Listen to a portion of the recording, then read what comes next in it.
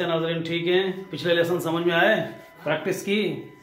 या बस देखा वीडियो आ गया कर करके और फ़ौरन समेटी और लाइक लगा के बस खुश कर दिया। नहीं जी इंग्लिश बहुत ज़रूरी ज़बान है, सीखिए, समझिए और इससे ज़्यादा आसान इंशाल्लाह कोई पेश नहीं करेगा आपके सामने।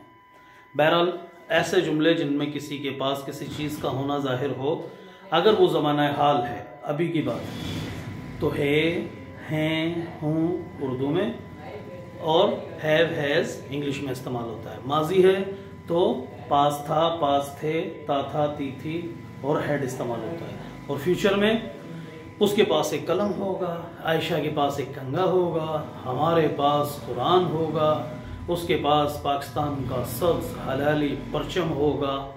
ठीक है, इस तरह के जुमले मुस्तकबिल में होंगे। तो निशानी क्या हो जाएगी? होगा, होगी, होंगे। क्लियर है जी?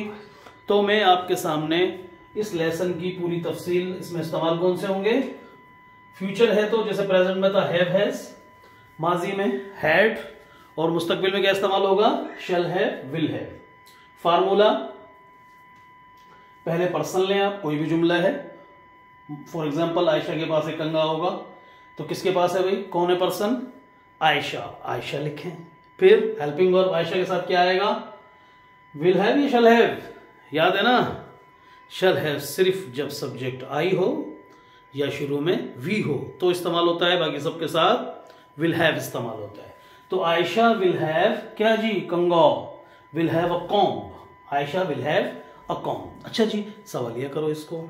सवालिया क्या तरीका है? शल या विल जो भी है जुमले में, उसको शुरू में लगा दो। बिफोर पर्सन पर्सन से पहले। Will Ayesha have a comb सवालिया निशान? ठीक है। इनकारिया आयशा के पास कंगा नहीं होगा। Ayesha will not have a comb और ताकीदी? ताकीदी जुमले, आयशा के पास वाकई कंगा होगा। Will Ayesha have a comb will Ayesha have really a comb no shall change हो जाएगा विल में और विल चेंज हो जाएगा शल में। कानून क्या है? आई और वी के साथ शल इस्तेमाल हो। लेकिन फिर विल इस्तेमाल करेंगे। कानून क्या है कि आई और वी के अलावा जो भी पर्सन हो तो विल इस्तेमाल करेंगे तो हम शल इस्तेमाल करेंगे, अगर जुमला एम्फेटिक ताकीदी है। तो मैं आपके पास ये रही एक और मिसाल, अहमद के पास किताब होगी। Ahmed will have a book समझ रहे अहमद के, क्या अहमद के पास किताब होगी? इंट्रोगेटिव विल शुरू में आ गया। Will Ahmed have a book simple इनकारिया Ahmed will not have a book Ahmed के पास किताब नहीं होगी। और ताकीदी, अहमद के साथ उसूलन विल आना चाहिए था।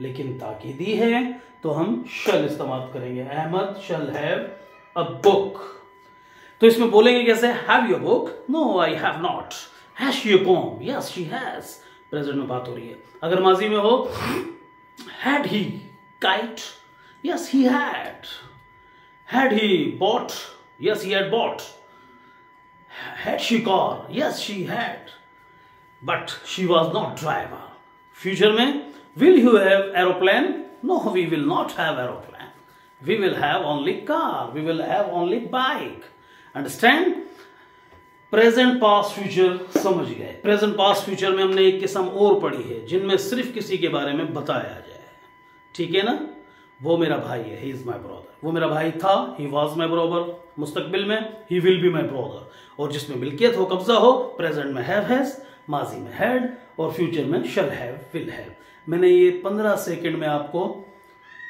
दोनों एग्ज़ाम समझा दी। उम्मीद है इससे फ़ायदा उठाएँगे।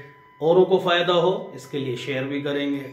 मुझे थोड़ा सा फ़ायदा हो, इसके लिए लाइक करेंगे और सब्सक्राइब करेंगे। क्या ख्याल है? इतना हक तो बनता है ना? अस्सलाम पाकिस्तान जिंदाबाद